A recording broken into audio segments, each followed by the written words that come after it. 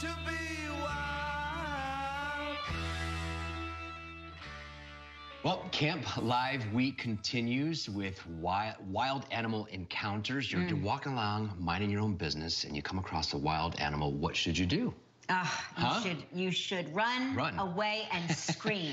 Well, here's what you really should do with uh, with all the info is Animal Planet's large predator expert from Animal Bites, Dave Salmoni. Hey, Dave. Hi, Dave. Hey guys, how are you? Good. Thanks for joining us. You know, Mark and I are constantly Googling because we're big hikers. So we Google all the time what to do if you encounter A, B, and C. Usually like bear, uh, coyote, Mountain lion. lion, Yeah. um, and elk. Okay, so take us through what should we do if we come across a mountain lion? Now, first of all, be careful what you Google. You can get some bad advice. Uh, the way I like to break down animal encounters are typically speaking, if you're out there, you're camping, you're hiking, you're running, whatever you're doing, uh, I always tell people if you bump into an animal, it probably knows you're there already. So just enjoy it.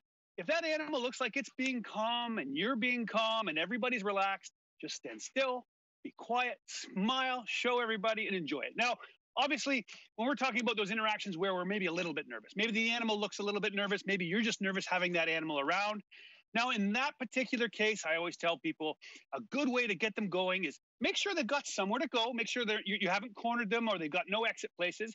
But if they have somewhere to go, you start yelling, hey, hey, hey, and you clap your hands, make yourself big. If you're in a group, get together in that big group. Um, make, you know, if you have stuff, around.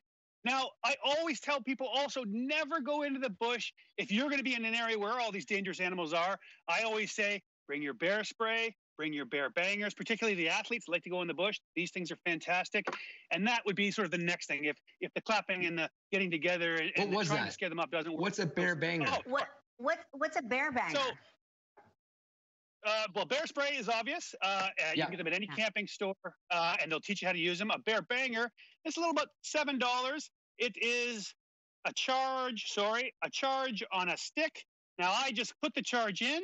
I put I run with it in my pocket, and all you have to do, you'll see there's a little knob here. I put take off the safety, and I go, and that shoots a charge like a shotgun straight in the air, and goes bang louder than a shotgun, and it'll scare any animal away and it's a non-lethal way to get yourself out of a, a, a yucky situation. So uh, they're It's- really it seems good. like there's a there's a, a little prep there, right? so you don't want to. it's loaded. You you It's, you, a, you oh, it's load it. preloaded. Yeah, yeah. Okay. no, so I, I, I run with it like this, and all I have to do to, ch- to get it up is switch this thing over, and it's ready to roll. So just have it in your Got it. pocket when you go, and you'll never need it.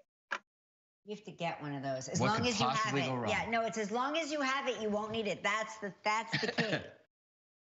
I always tell people the best thing you're never going to have a negative interaction, but it, you'll feel more confident if you're ready for it. It's not going to happen, but if you're ready for it, you'll enjoy the bush and the animals way, way more.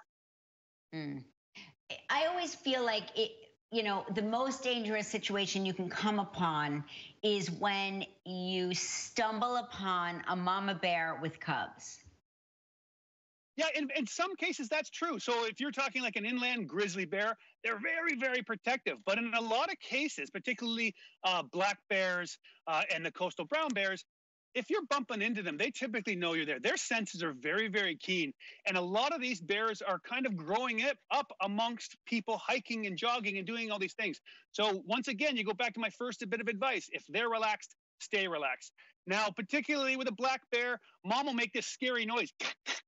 And that's to make you stand still so the babies have enough time to run up a tree. A baby black bear can run up a tree just as fast as it can run along the ground. Just stand still. As soon as mom thinks its cubs are away, then she'll run away and everybody will be fine.